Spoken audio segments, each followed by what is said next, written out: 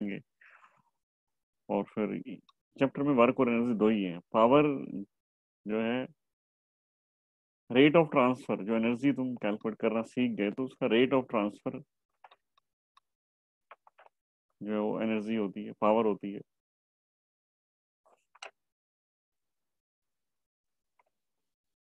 तो मेनली हमारा एनर्जी रहता है। पावर के ऊपर क्वेश्चन डायरेक्ट प्रैक्टिस करते हैं हम लोग। आज तीज है हैप्पी तीज टू ऑल पतंग उड़ाते हैं तुम में से? बॉयज़ हैं क्या? पतंग उड़ाते हैं तुम में से? अर्पित सिन्हा अक्षत भावेश। नो सर नहीं उड़ाते पतंग। कौन बोल रहा है? यस सर यस सर किसका है? भावेश। भावेश। अच्छा अच्छा। क्लासेस सारी क्लासेस हैं क्या? पतंग कैसे उड़ाएगा। शाम तक क्लासेस है शायद।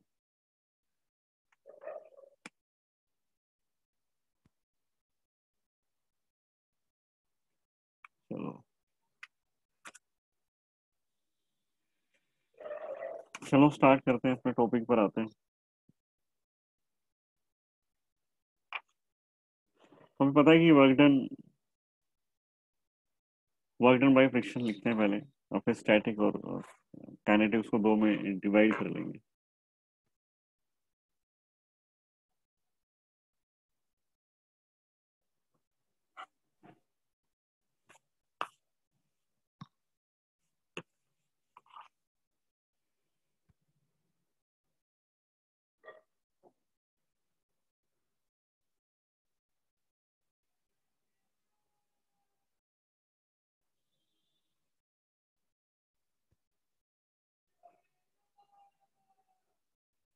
Work done by friction.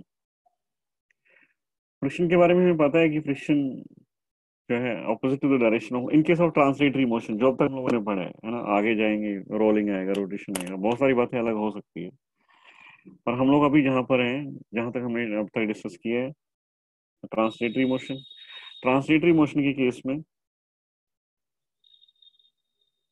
friction force opposite to the direction of motion होता है। जो उसका नेट मोशन हमें दिखाई देता है, उसके ऑपोजिट होता है। और जब बात कर रहे हैं हम लोग स्टेटिक फ्रिक्शन की तो फ़र्स्ट आता है स्टैटिक फ्रिक्शन जब हम बात कर रहे हैं स्टैटिक फ्रिक्शन की तो सपोज़ ये एक ब्लॉक है ऑफ़ मास एम इसको पुश कर रहे हैं हम लोग एफ़ इस mass M it does not come into motion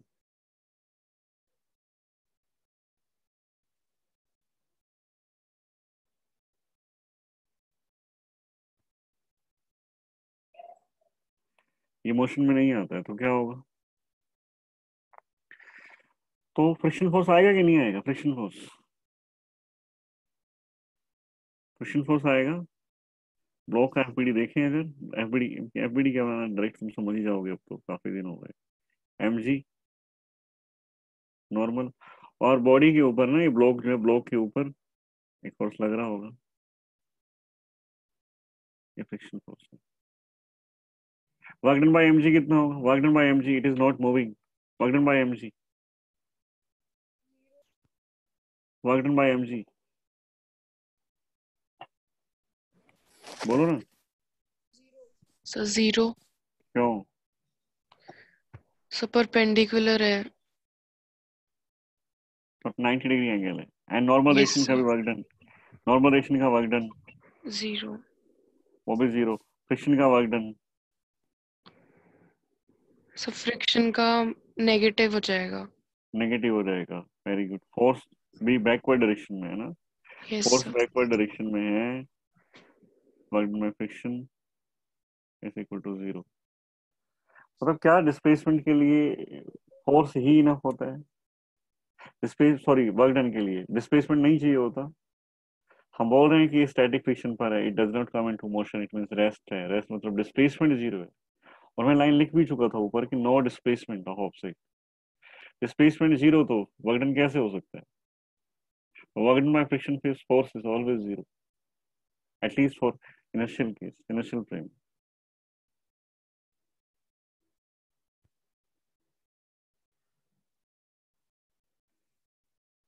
फिर आते हम काइनेटिक फ्रिक्शन पर। Work by kinetic friction. इसमें तो बॉडी मोशन में आ ही जाती है ना। इसमें तो बॉडी मोशन में आ ही जाती है।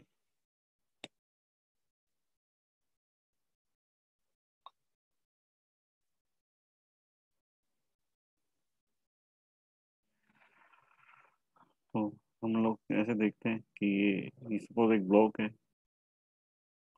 ब्लॉक ऑफ़ मास है एफ़ यहाँ पर लगाते हैं। Downward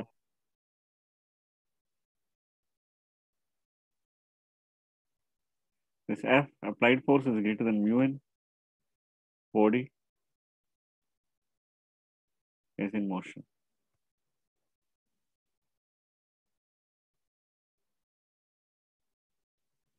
Friction force की अगर बात करें,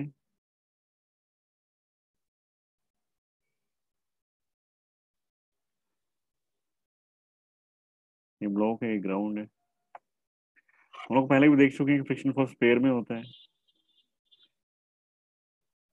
ब्लॉक के ऊपर फोर्स लगेगा बैकवर्ड डायरेक्शन में एफ़ और ब्लॉक जो है सरफेस के ऊपर फॉरवर्ड डायरेक्शन में फोर्स लगाता है। ये काइनेटिक फ्रिक्शन है। और काइनेटिक फ्रिक्शन की वैल्यू में पता है म्यू एन की इक्वल होगी।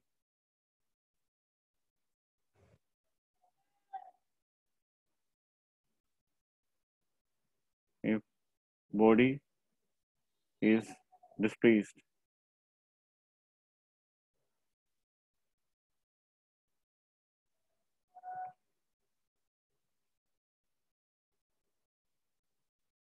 through x.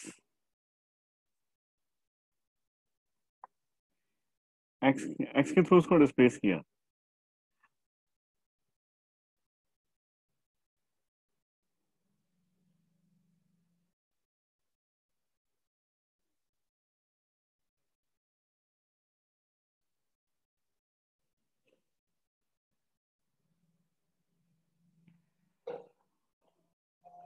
वर्क डन कितना होगा? अब देखो फोर्स है ना कांस्टेंट फोर्स है। Work done F dot delta S force जो भी है डेल्टा एस की वैल्यू पुट कर देंगे। Cos of angle friction force opposite direction में तो माइनस एफ़ डेल्टा एस और फिर जो भी वैल्यूज़ इसकी देख लेंगे mu N delta S is X फिर नेगेटिव साइन माइनस साइन कभी कभी क्वेश्चन तुम्हें ऐसे दिखाई देगा। देखो, ये तो था ऑब्जेक्ट के ऊपर। Work done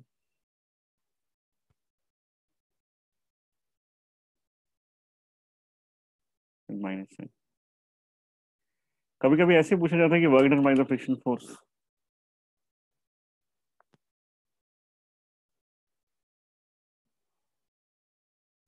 work done by the friction force on the surface on the surface मतलब ये जो नीचे जो ग्राउंड जिसको हम लोग बोल रहे हैं ग्राउंड एक तो ब्लॉक है और एक ग्राउंड है। तो सरफेस के ऊपर सरफेस का वर्क डन भी कैलकुलेट करवाते हैं। ऐसे क्वेश्चन तो मिलेंगे और कंफ्यूज जाते हैं बच्चे इसमें। तो सरफेस देखो एक साइड तो एक डायग्राम तो मैंने ये बनाया, वो सरफेस का और एक बनाया हुआ ब्लॉक का। तो ये तो हो गया सरफेस और ये ब्लॉक और ये ग्राउंड सरफेस का डिस्प्लेसमेंट कितना होता है? सरफेस के ऊपर फोर्स लगता है फ्रिक्शन फोर्स लगता है। सरफेस का डिस्प्लेसमेंट कितना होता है? तो ये तो था ब्लॉक के लिए। Work by friction force on the block इसको हम बोलेंगे। This is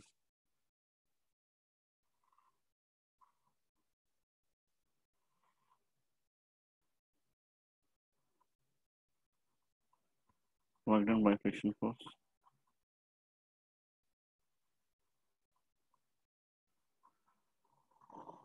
The block और हमें कैलकुलेट करना है work done by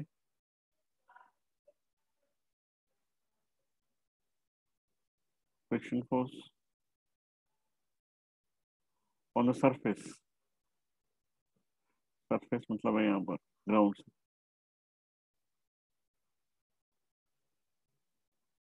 तो वो हो गया will be zero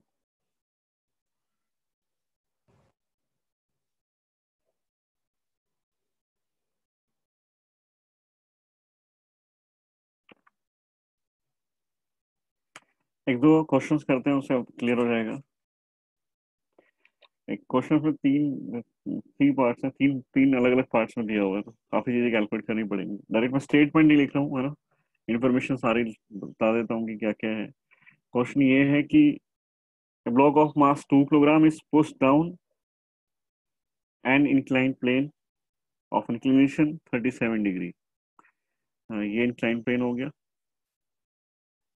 angle 37 theta theta is 37 a, a block of mass 2 kilogram mass m. 2 kilogram theta is 37 degree. Is pushed down. Is pushed down by applying a force F. And that F is 20 Newton. This force is uh, acting parallel to the incline. It is found that the block moves down the incline with an acceleration of 10 meter per second square. इस force को लगाने के बाद इस acceleration है वो 10 meter per second square.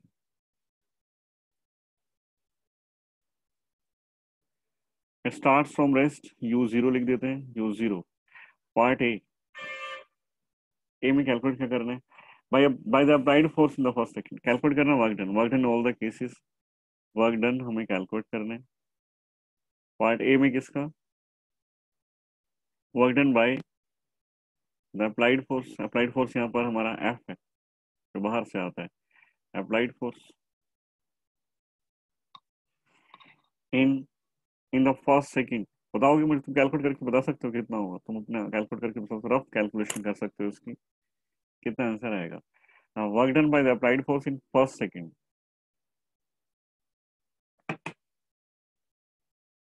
first second. Its applied force is 20. बस तुम चाहो तो विदाउट पेन भी कर सकते हो देख के बस बता सकते हो कि ये आएगा force is twenty positive negative sign ही बताना है तुम लोगों को क्योंकि हो सकता है नेक्स्ट क्वेश्चन में नेगेटिव है उससे नेक्स्ट में है एक ध्यान रखना साइन के साथ मुझे बताना है। So plus hundred. Plus hundred हाँ जी hundred joule positive work done होगा. Positive. Force work done by force पूछा गया तुम लोगों से। इससे कॉम्पोनेंट्स वगैरह बना लेते हैं हम लोग है ना? क्योंकि ज़रूरत पड़ सकती है उनकी नेक्स्ट पार्ट में। तो मैं डायरेक्ट कंपोनेंट लिख रहा हूँ, तुम्हें सब पता ही है अब ये ये m g cos theta component होता है, ये m g sine theta component और इस साइड नॉर्मल तो तुमसे पूछा गया work done by the applied force F तो तो डिस्प्लेसमेंट देखो in one second in first second in one second displacement acceleration of the block is 10 it starts from rest, then displacement of the particle in first second s is equal to ut plus half at square. U is 0 plus half into 10 into 1 square is is 5 meter. Work done by applied force f is will be equal to f is constant. F is 20 newton and that 20 newton is constant. That means the work done will be equal to f dot delta s. Direction of force and displacement it's same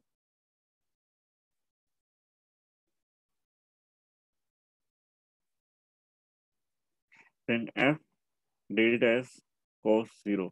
और तुम values put करते हो, तुम्हें मिल जाता है ये hundred joule second part पर आते हैं।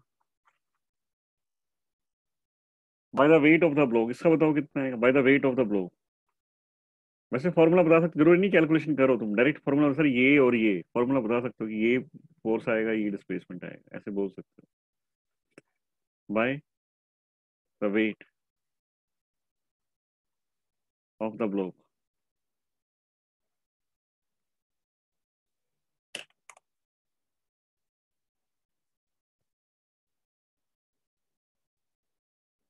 In first second सही, सारे सेम टाइम में, ये भी वन सेकेंड में पूछा गया है। तो डिस्प्लेसमेंट इस केस में भी हम लोग वही लेंगे। फ्रिक्शन तो लगाया नहीं। फ्रिक्शन किधर होगा इसमें? फ्रिक्शन बोला उसने फ्रिक्शन नहीं बोला। फ्रिक्शन फोर्स का क्वेश्चन है next so backward direction by the weight of the block in first second कितना होगा वर्क डन कितना होगा बताओ? बी पार्ट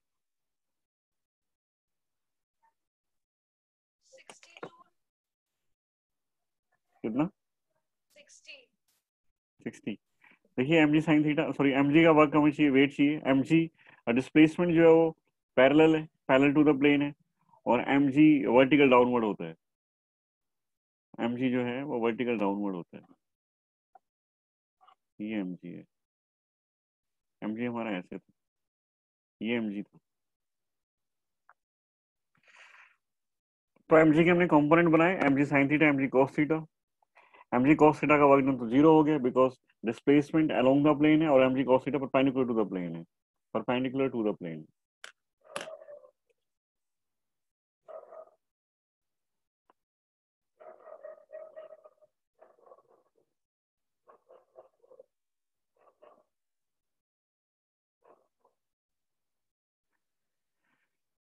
तो एम जी कॉस का वर्क डन ज़ीरो हो गया work done by m c कल मैंने बताया था work done by m c is equal to the work done of the components of m g sum of components of m g है ना? Sum of the work done by components of m g तो M G cos का work calculate कर लेते हैं। साथ में M G sine theta का भी कर लेंगे। तो एम जी कॉस का वर्क डन ज़ीरो हो गया तो work done by m g will be equal to the work done by m g sine theta क्योंकि एम जी कॉस थीटा जो कंपोनेंट है, उसका वर्क तो ज़ीरो हो गया। हम लिखते हैं वागडन बाय एमजी मैं सब डायरेक्ट यही लिखता हूँ। Work done by m is equal to work done by m g theta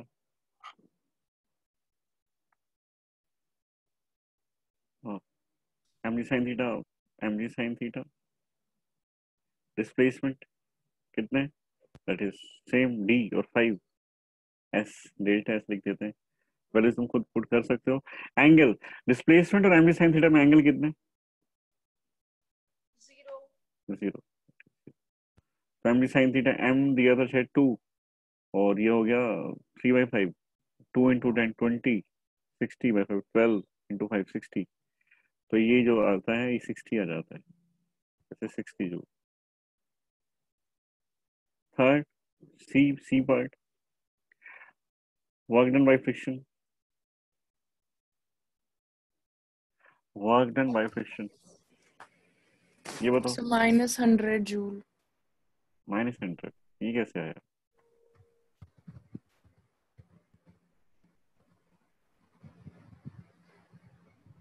कैसे आया ये एक मिनट देखूँ मैं जरा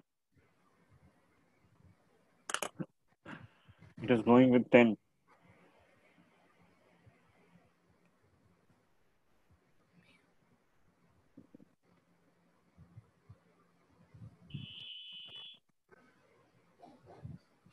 कैसे ये माइनस हंड्रेड सर नहीं सर गलत कर दिया। वो मैंने वो अप्लाइड फोर्स की वो कर दिया।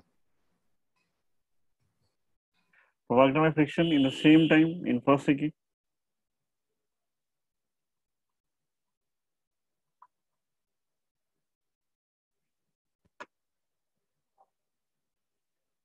क्या लिखोगे?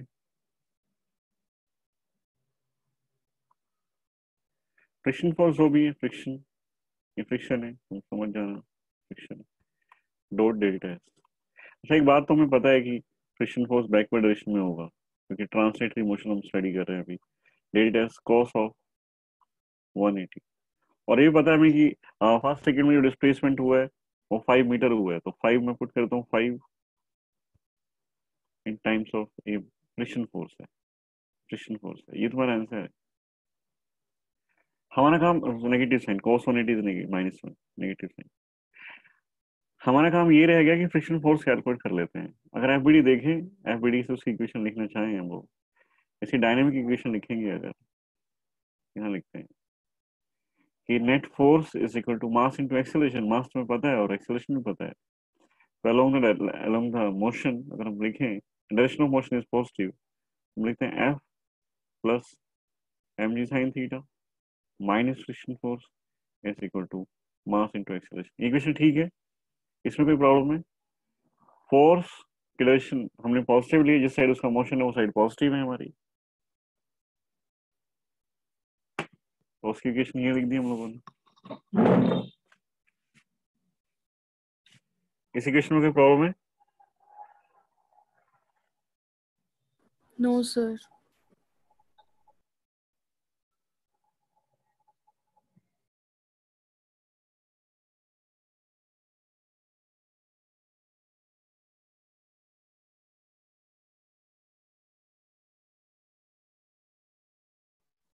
सर एक बार बी पार्ट दोबारा बताना, मेरी डिस्कनेक्ट हो गई थी क्लास बी पार्ट क्या ब्लॉक अच्छा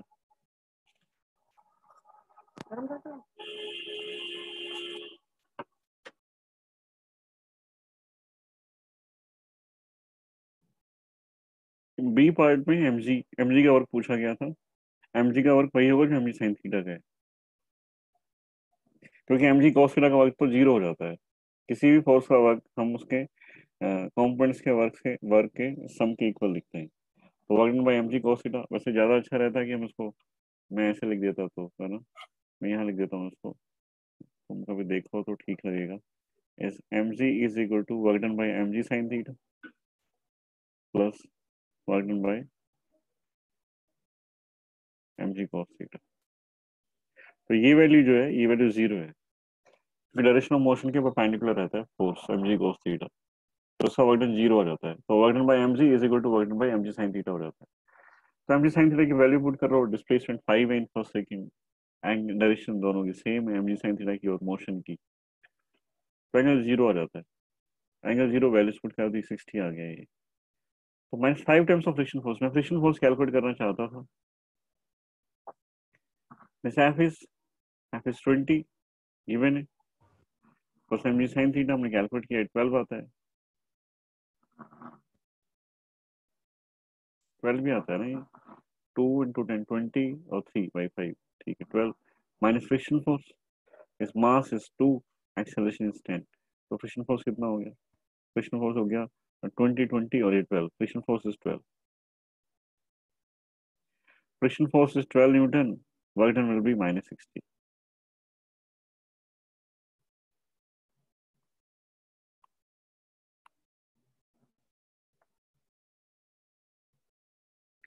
next question देखते हैं। थोड़ा सा टफ करते हैं। ब्लॉक के ऊपर ब्लॉक रखेंगे। और इसमें फाइव पार्ट्स दिए हुए ए बी सी डी काफ़ी कुछ इसमें आ जाएगा, है ना? तो उसके बाद सूडो फोर्स के वर्कडन पर चलेंगे। देखिए। Block of mass another block of mass capital M.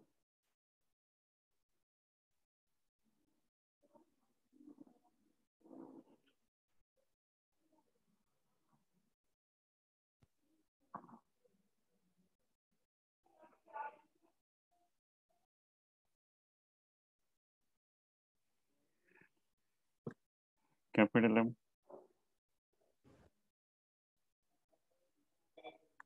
small m.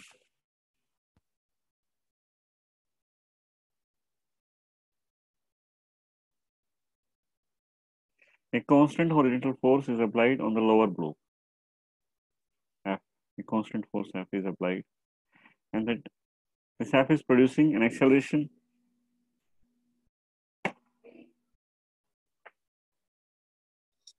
produces an acceleration F by 2m plus m A block of mass small m is capped, over another block of mass capital M and the system rests on a horizontal surface. A constant force F is applied on the lower block, produces an acceleration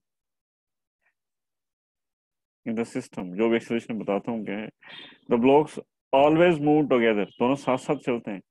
Consider the displacement d of the system. देखिए, क्या क्या और दिया हुआ है? Acceleration जो आया system का एक्सेलेशन तुम्हें दिया हुआ है। ये हमेशा साथ साथ रहते हैं। Acceleration is F by two m plus m और इस पूरे सिस्टम का जो फोर्स में लगाया तो उसको डी डिस्टेंस से, इसको इसको यहाँ से और यहाँ पर ले गए।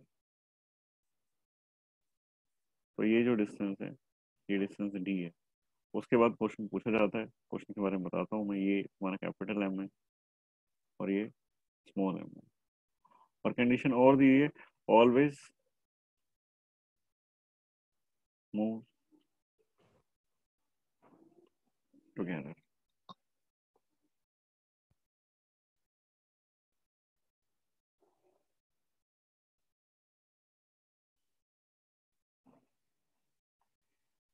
first part है। Find the work done find the work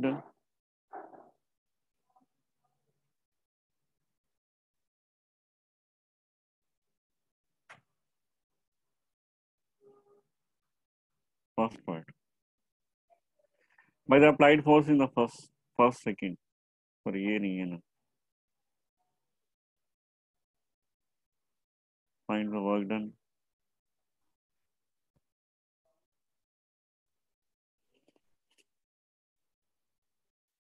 By friction force on the bigger block. Work done by friction force on the bigger block. Work done by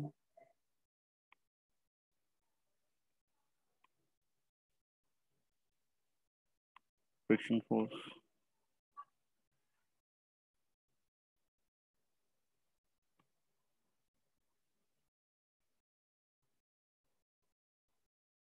On the bigger block.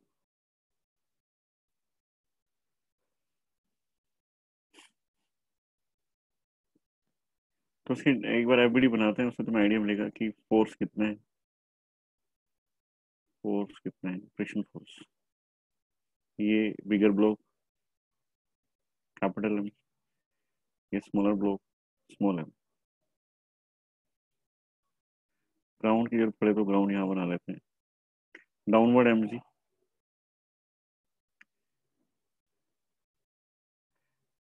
जो smaller block है, वो block पर एक force लगाता है that is an तो bigger block क्या करेगा? वापस लगा देगा।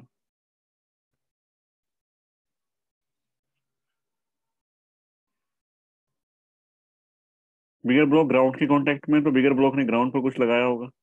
एन प्राइम तो ग्राउंड वापस लगाता है एन प्राइम अब बिगर ब्लॉक की इसके ऊपर बिगर ब्लॉक पर एक फोर्स हमने लगा रखा है टुवर्ड साइड तो बिगर ब्लॉक जो राइट साइड में मूव करता है with some given acceleration A तो ग्राउंड क्या करता है, इसके मोशन का अपोज करता है बैकवर्ड डायरेक्शन में फोर्स लगता है उसका नाम है फ्रिक्शन फोर्स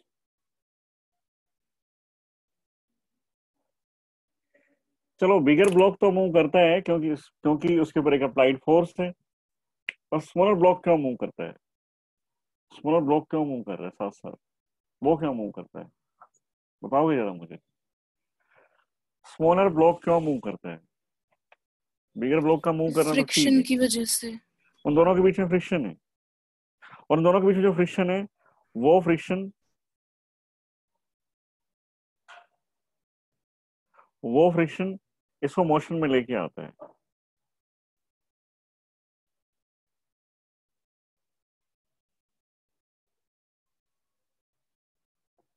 ठीक है?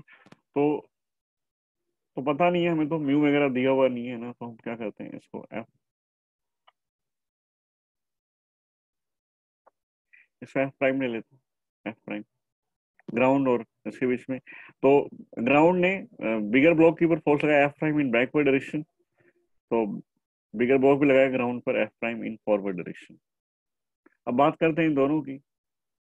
लोअर ब्लॉक बिगर ब्लॉक के ऊपर रखा हुआ है। Sorry smaller block smaller block bigger block के ऊपर है। तो ग्राउंड और ऊपर जो स्मॉलर ब्लॉक है जो अपर ब्लॉक है और ग्राउंड है ये दोनों बिगर ब्लॉक के मोशन का अपोज करेंगे। क्योंकि दोनों में से कोई मोशन में नहीं है। वो देख क्या रहे हैं कि कि ग्राउंड के और अपर ब्लॉक के बीच में एक एक ब्लॉक है ऑफ़ मास कैपिटल एम उसके ऊपर एक फोर्स लगाया जाता है। और वो ब्लॉक उस फोर्स की वजह से मूव करने की कोशिश करते हैं तो फिर ग्राउंड और अपर ब्लॉक दोनों उसको रोकते हैं। दोनों उसको रोकते हैं तो हम क्या कहते हैं कि कि bigger block sorry upper block ने बिगर ब्लॉक के ऊपर एक फोर्स लगाया इन बैकवर्ड डायरेक्शन ये एफ़ है, ये एफ़ है।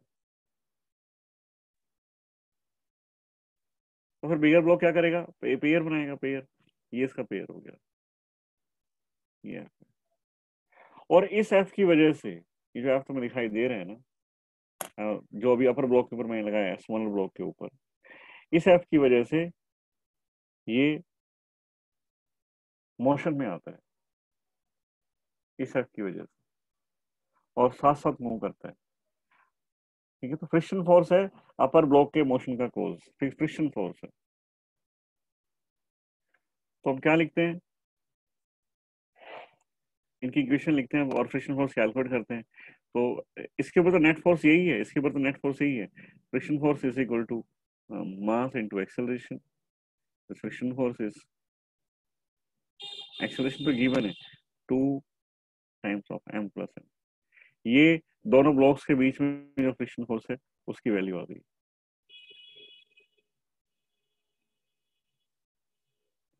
बिगर ब्लॉक की इक्वेशन लिखें अगर हम लोग।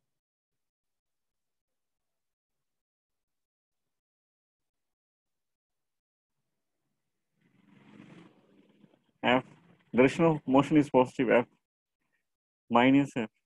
minus F prime is equal to mass into acceleration.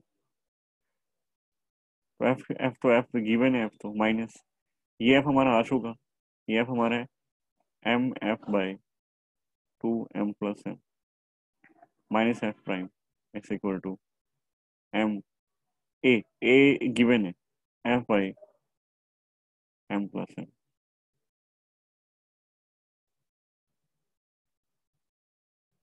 और ये ये टू तो यहाँ से अगर हम कैलकुलेट करें एफ़ प्राइम तो ये आता है F minus m F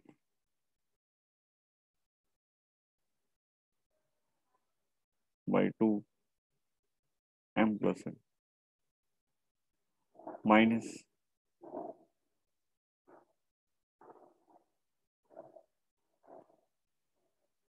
यहाँ से हम लोग F minus F by two बच जाता है ये। ये दोनों टर्म ना एफ़ बाई टू बन जाती है। F minus F by two तो फ्रिक्शन फोर्स जो आया एफ़ बाई टू आता तो बस आ गया वर्कडन कितना? वर्कडन कितना हुआ फिर बताओ। Friction force F prime dot delta by friction force बताना था ग्राउंड से जो फ्रिक्शन फोर्स मिलता है उसका। तो F prime is F by two delta s उसने कहा था डी लेना है तुम लोगों को डी डिस्प्लेस हुआ है पार्टिकल और दोनों के बीच में एंगल जो है वन एटी तो minus F by two d समझ में आया?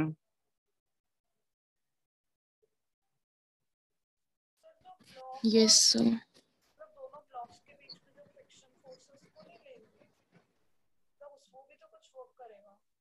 नहीं उसमें पूछा गया सब वर्क कर सकते हैं, कोई कुछ वर्क करेगा कोई कुछ करेगा। हमसे पूछा हमसे पूछा, इस फ्रिक्शन का वर्क बताओ जो ग्राउंड के बीच में है ग्राउंड जो लगाता है। तो हम उसे कैलकुलेट करेंगे, उसका क्यों करेंगे। हमसे पूछा गया हो सकता है नेक्स्ट पार्ट में पूछा हो कुछ। Find the coefficient of kinetic friction between the bigger block and the horizontal surface ये तो कर ही लोगे। सेकंड पार्ट है फ्रिक्शन कोफिशिएंट बताओ। तो फ्रिक्शन फोर्स इज़ मोशन में है कि बॉडी रेस्ट में है? Second. Find mu between ground and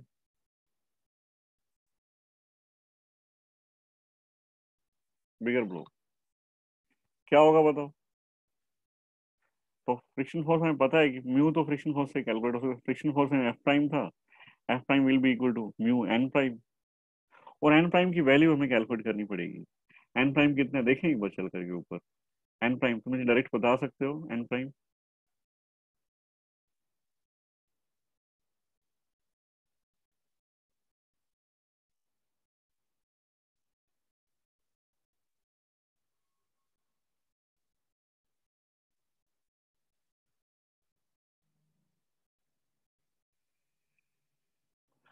यहाँ पर एन प्राइम यहाँ से एन प्राइम देखो कितना आता है। यहाँ से एन देखो। ये एन है। यहाँ से एन देखो एन कितना आता है। इससे लिखते हैं N equal to M G और यहाँ से देखो, यहाँ से एन प्राइम वर्टिकल में नेट फोर्स लिखो लिखें क्या एम जी डाउनवर्ड है। M G plus N equals to N prime इसके लिए इसके लिए इक्वेशन लिखना चाहता हूँ। वर्टिकल की इक्वेशन है तो एन प्राइम कितना हो गया? एम जी प्लस ये एन प्राइम की वैल्यू है। वर्टिकल में नेट फोर्स ज़ीरो है। ये एन प्राइम की वैल्यू है। एन प्राइम यहाँ पुट कर दो। एफ़ प्राइम हमारा आया था। एफ़ बाई टू जो अप्लाइड फोर्स उसका हाफ़ है। Mu N prime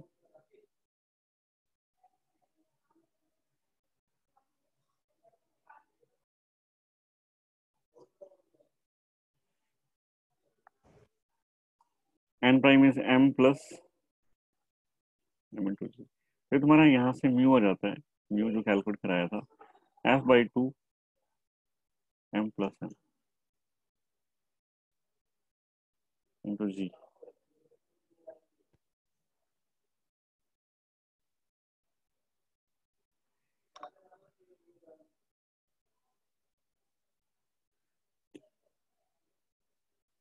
third part है। The work done by the force of friction on the smaller block by the bigger block.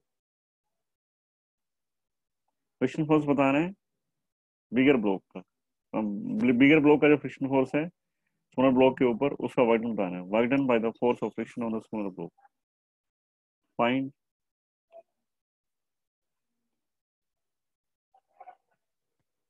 work done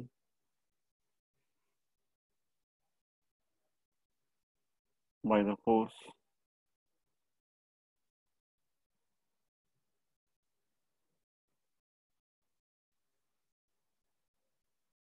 Find force of friction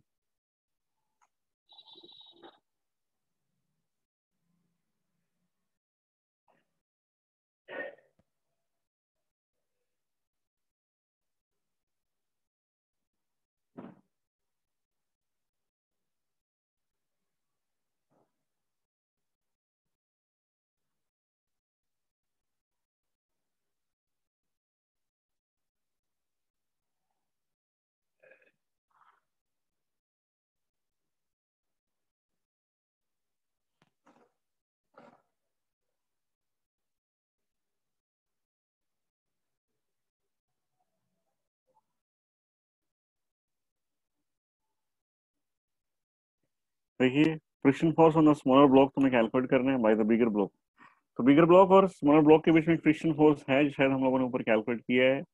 और friction force देख लेते हैं कि दोनों block के बीच में फ्रिक्शन फोर्स कितने दोनों ब्लॉक के बीच में फ्रिक्शन फोर्स कितने ये है फ्रिक्शन फोर्स दोनों ब्लॉक के बीच में, ये। इसका वर्क डन तुम्हें बताना है। तो फ्रिक्शन फोर्स जो है बिगर ब्लॉक का है तो स्मॉलर ब्लॉक ये हो गया स्मॉलर ब्लॉक ये है।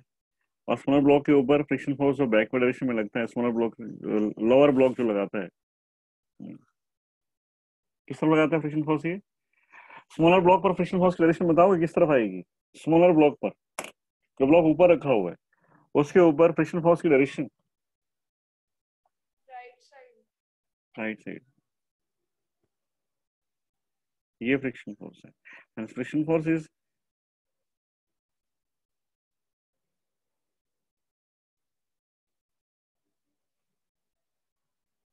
इसका वर्क डन कितना होगा? Work done friction force is negative हमेशा ऐसे नहीं होता। देखो, इस ब्लॉक के लिए। डिस्प्लेसमेंट तो इसका भी होता है ना? डिस्प्लेसमेंट इसका कितना हुआ? दोनों साथ साथ चलते हैं। इसका भी डिस्प्लेसमेंट होता है। और इसी फोर्स की वजह से होता है जो दिखाई दे रहा है। फ्रिक्शन फोर्स इसी की वजह से हो रहा है डिस्प्लेसमेंट और ये फ्रिक्शन फोर्स बिगर ब्लॉक ने इसके ऊपर लगाया है। इसकी वजह से ये अपर ब्लॉक और स्मॉल ब्लॉक है, ये आगे जाता है। और डी डिस्पेस हो जाता है अपनी पोजीशन से। डी डिस्पेस हुआ है तो वर्क डन तो वर्क डन कितना हुआ? वर्क डन इज़ फोर्स तो कांस्टेंट है। Work done F S cos theta मतलब M F by two times of M plus M displacement D and cos of angle कितना रहेंगे कॉस ज़ीरो और देख रहे हो तुम पॉजिटिव वर्क आ रहा है। Cos zero is one positive work है फ्रिक्शन फोर्स का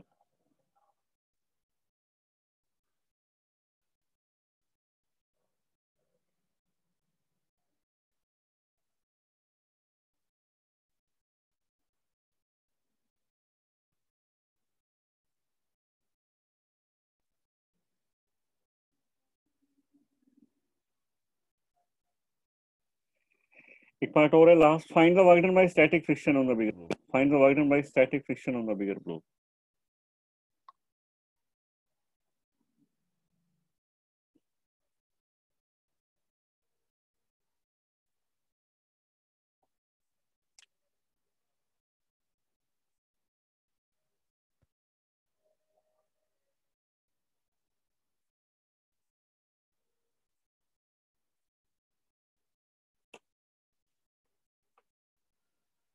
find the work done last part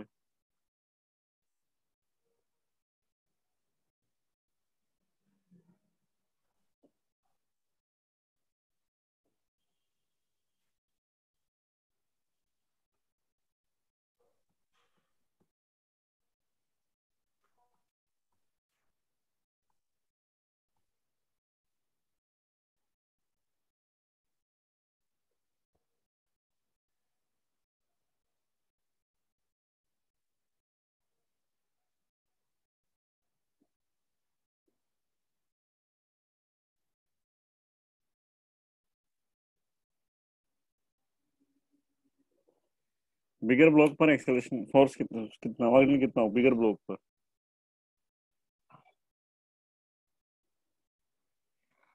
तो देखो, अभी हम लोगों ने देखा कि स्टैटिक फ्रिक्शन का जो वर्क होता है, वो ज़ीरो होता है। ज़ीरो यहाँ पर स्टैटिक फ्रिक्शन हमें दिखाई दिया। देखो कंप्लीट सिस्टम कुछ ऐसे है। ये स्मॉल एम है। कैपिटल एम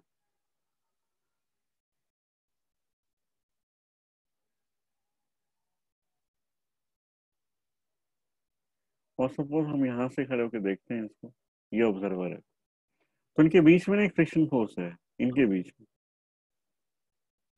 ये फ्रिक्शन फोर्स जो जो इन दोनों के बीच में bigger block and smaller block के बीच जिसके ऊपर तो यहाँ लगता है, और अपर ब्लॉक के ऊपर बात करें तो इस तरफ़ लगता है, ऐसे। फ्रिक्शन फोर्स लगता है, और ये फ्रिक्शन इन दोनों के बीच में कोई मोशन नहीं है। Capital M and small m के बीच में कोई रिलेटिव मोशन नहीं, दोनों एक दूसरे के रिस्पेक्ट में रेस्ट पर है। तुम स्मॉल एम के ऊपर बैठ के देखो तो कैपिटल एम को रेस्ट पर नज़र आएगा।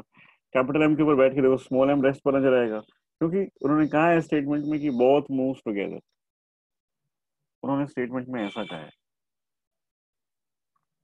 पर हम ग्राउंड से देखते हैं, हम तो अभी तो ग्राउंड से ही कर रहे हैं, हम सब कुछ ग्राउंड से करते हैं। तो हम ग्राउंड से क्या देखते हैं कि जो स्मॉलर ब्लॉक है वो इस फ्रिक्शन फोर्स एफ़ की वजह से मूव करता है तो उसका डिस्प्लेसमेंट होगा। और स्मॉलर ब्लॉक इस फ्रिक्शन फोर्स एफ़ की वजह से डी डिस्प्लेस हुआ है तो हमने ऊपर लिख दिया F D F to F D cos zero F की वैल्यू पुट कर दी, जो भी फ्रिक्शन फोर्स की वैल्यू थी। अब पूछा गया है कि फ्रिक्शन फोर्स फ्रिक्शन फोर्स का वर्क बताओ। By the static friction static friction दोनों के बीच में, क्योंकि दोनों के बीच में रिलेटिव मोशन नहीं है तो इसकी वैल्यू म्यू एन की इक्वल नहीं होगी। इनके बीच में रिलेटिव मोशन तो म्यू एन लिख देते हैं हम लोग, जैसे हमने ऊपर लिखा था कि ग्राउंड के बीच में जो फोर्स है वो म्यू एन होगा ग्राउंड के बीच में और बिगर ब्लॉक के बीच में। पर हमें पता है कि work done by static force is zero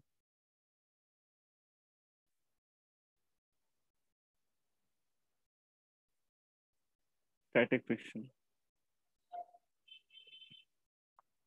zero हम लिखते हैं? Work done by static friction अब स्टैटिक फ्रिक्शन दो जगह पर काम कर रहे हैं। Work done by static friction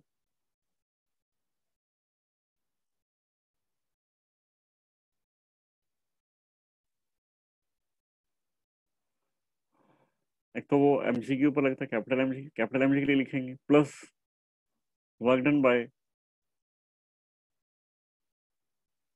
static friction for small mg. It's work done by static friction. अच्छा ये तो हमें पता है ना कि net work done by static friction इसको भी लिख देता हूँ मैं, ये जो रेड लेफ़्ट साइड में लिखा हुआ है this is a net static friction का नेट वर्क डन ये ज़ीरो होगा work done by static friction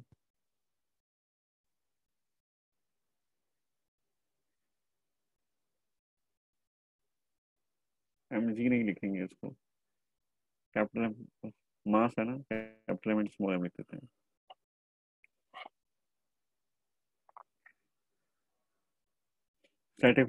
for capital M plus work done by static friction of small m और स्मॉल एम का work हम कैलकुलेट कर चुके हैं। Small M का। वन एम का वर्क ऊपर लिखा हुआ पॉजिटिव आया था। तो इसका मतलब ये हुआ कि work done of static friction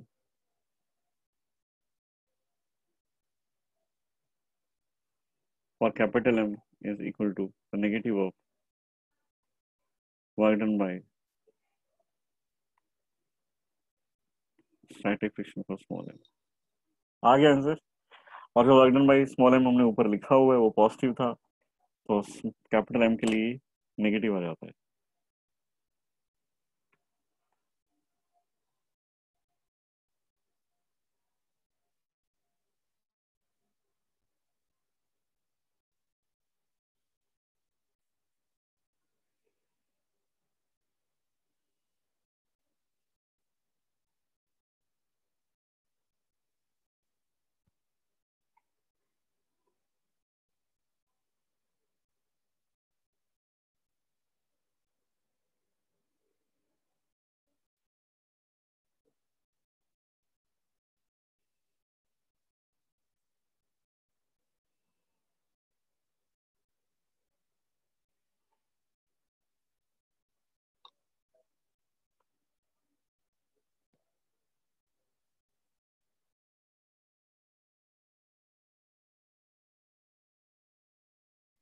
देखिए एक और देखिए।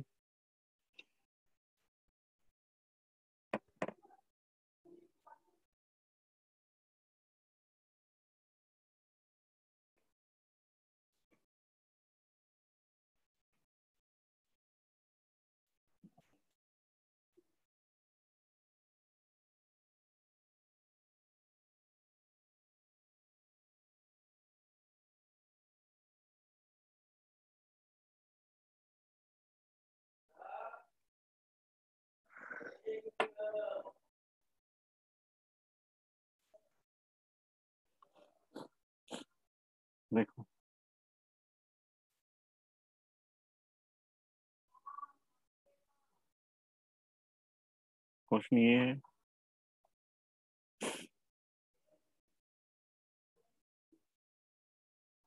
ये एक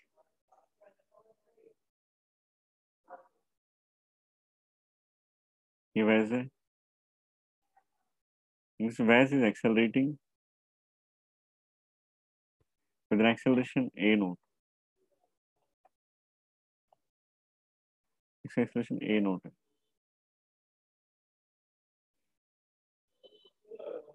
ये हाइट एच है। ये डिस्टेंस एल इसके ऊपर एक ब्लॉक रखा हुआ है। ऑब्जर्वर यहाँ पर है भाई, इसके लिए ऑब्जर्वर के लिए और ऑब्जर्वर डिपेंडेंट होता है सूडो फोर्स का वक्त। ऑब्जर्वर यहाँ पर है।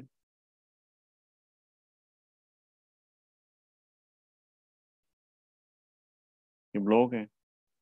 और जो भी एक्सेलरेशन है ये, इस वजह से ये हो सकता है रेस्ट पर है A naught equal to G tan theta हुआ तो less than G tan theta हुआ तो ये नीचे चला जाएगा अगर ये ऊपर भी जा सकता है तो क्वेश्चन में गिवन है कि ये ऊपर जाता है इसकी जो मोशन की टेंडेंसी है ऊपर ऊपर जाता है ऊपर गया तो इसका तो पता है हमें कि एक्सेलरेशन कितने हैं ए नोट के बारे में बताओगे कितना है क्या गेस कर सकते हैं हम लोग? ए नोट कैसे कितना होगा?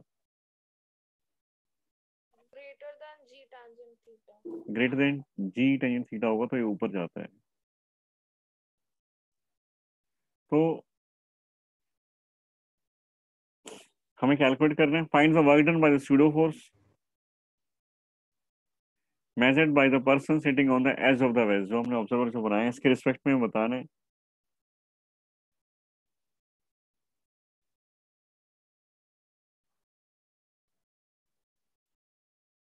के साइड में क्या लिख रखा है? कहाँ पर? सर ब्लॉक के right side a note acceleration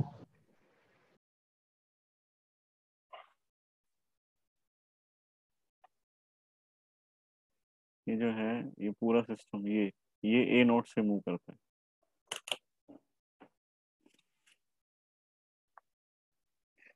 Finds of by the pseudo force measured by the person sitting on the base moves up from the bottom to top अच्छा ये नीचे से ऊपर तक जाता है ना, जहाँ पर ऑब्जर्वर बैठे हैं इसको यहाँ से वहाँ जा रहे हैं। तो देख रहे हो हाइट कितनी है एच है और हॉरिजेंटल डिस्प्लेसमेंट कितना है एल उसको ट्रेवल करना है। तो सर सूडो फोर्स लगाओगे किस साइड लगेगा सूडो फोर्स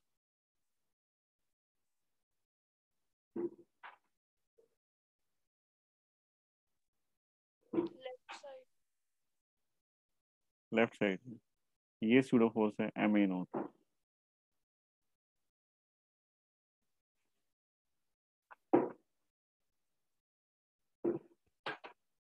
और जब वो यहाँ पहुँच जाता है from point A to point B suppose ये पॉइंट ए है और ये पॉइंट बी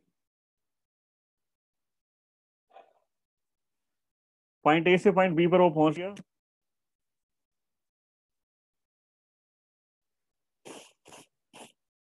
तो उसका डिस्प्लेसमेंट कुछ होता है root of L square plus H square displacement जो इंक्लाइंड है और स्यूडो फोर्स हॉरिजेंटल है। हमने कहा था कि दोनों सेम डायरेक्शन में होने चाहिए, हम हमेशा यही करते हैं कंपोनेंट्स वगैरह घुमा के ले आते हैं, ठीक है ना? तुम ऐसा नहीं कि फोर्स से कंपोनेंट बनाओ डिस्प्लेसमेंट भी तो एक वेक्टर क्वांटिटी है। तो तुम कंपोनेंट डिस्प्लेसमेंट के भी बना सकते हो। हमें तो क्वेश्चन सिंपल सिंपलेस्ट अप्रोच से करना होता है। तो तुम्हारा जो कंपोनेंट्स है ना, वो ज़रूरी नहीं हर बार हम फोर्स के बनाए, वो तुम डिस्प्लेसमेंट की बना सकते हो। तो डिस्प्लेसमेंट तो उसका होता है ए बी पर मैं क्या करता हूँ कि डिस्प्लेसमेंट के कंपोनेंट्स बनाता हूँ और कंपोनेंट्स बनाऊँगा अलोंग द फोर्स क्योंकि सूडो फोर्स हमारा किस तरफ़ है? सूडो फोर्स है हमारा हॉरिजेंटल के अलोंग तो हम लोग जो फोर्स बनाएँगे ए बी वो फोर्स ए बी के जो कंपोनेंट बनाएँगे, वो कंपोनेंट हॉरिजेंटल के अलोंग तो मैं ये जानना चाहता हूँ कि ए बी का कंपोनेंट हॉरिजेंटल कंपोनेंट कितना होगा और ए बी का वर्टिकल कंपोनेंट कितना होगा? तुम बता सकते हो मुझे? ए बी के कंपोनेंट बनाना चाहता हूँ मैं अलोंग हॉरिजेंटल क्योंकि हमारा फोर्स हॉरिजेंटल है। मैं फोर्स के नहीं बनाना चाहता। कैलकुलेशन मुझे ज़्यादा करनी पड़ेगी। मैं इसी के लिए तो फ्री होता हूँ हमेशा कि कि कंपोनेंट फोर्स से बनाऊँ या डिस्प्लेसमेंट के, बात एक ही है। बस क्वेश्चन हमें ये करना होता है कि दोनों की डायरेक्शन सेम होनी चाहिए। दोनों ही वेक्टर क्वांटिटी कोई फ़र्क नहीं पड़ता। तो मैं अब तुमसे ये जानना चाहता हूँ कि फोर्स हमारा हॉरिजेंटल में देखो हॉरिजेंटल राइट है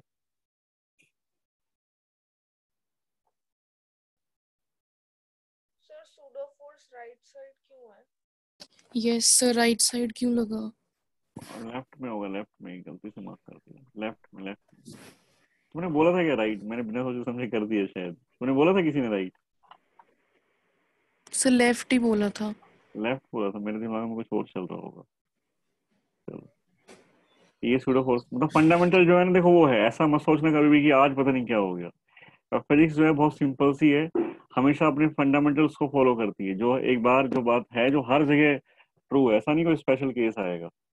वो गलती से मार्क हो गया, ये बात वो बस। फंडामेंटल को फॉलो करेंगे हमेशा। M A note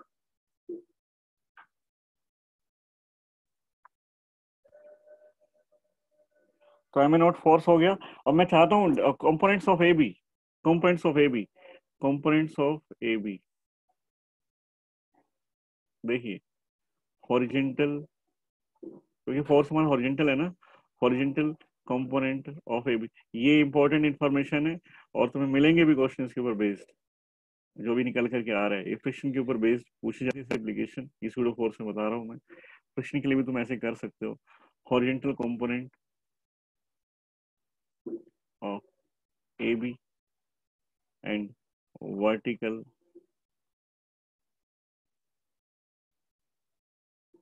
component of AB. Horizontal component is Theta. Theta दिया हुआ नहीं है ना कहाँ से लाएँगे थीटा दिया ही नहीं है थीटा उन्होंने लिख दिया ऐसे ही थीटा है नॉट गिवन कहाँ से लेके आओगे? एल और एच दे रखे हैं तुमने। तो यही तुम्हारे ऐसा हाँ एल एच की एल एल एच और एल की हेल्प से तुम कैलकुलेट करोगे थीटा और फिर कॉस थीटा पुट करोगे फिर वापस एल आएगा वो। वापस एल आएगा। A B cos theta is L करके देखो ऐसे। A B cos theta base और हाइपोटेन्यूज ऐसा तो कंपोनेंट्स तुम डायरेक्ट देख रहे हो? ए बी का हॉरिजॉन्टल कंपोनेंट एल है वर्टिकल कंपोनेंट एच है। तो work done by pseudo force कितना होगा work done by pseudo force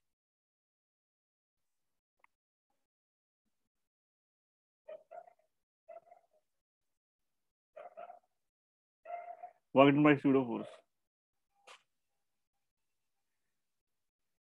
हम तो अपना बेसिक जो प्रिंसिपल है वो यूज़ करते हैं। Pseudo force डॉट डिस्प्लेसमेंट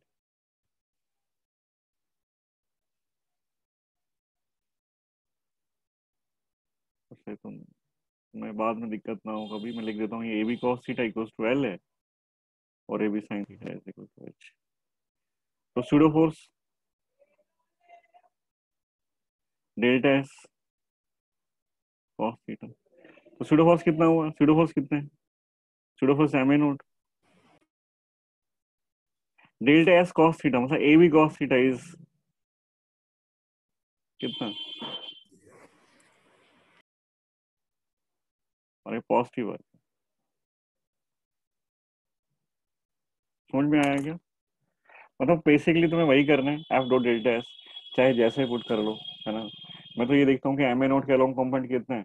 ए भी तो पूछता है एम ए नोट है आंसर तो धीरे धीरे तुम प्रैक्टिस करोगे तो चीज़ें आ जाएँगी और ठीक है? तो वर्क वर्क मेरी साइड से कंप्लीट हो गया।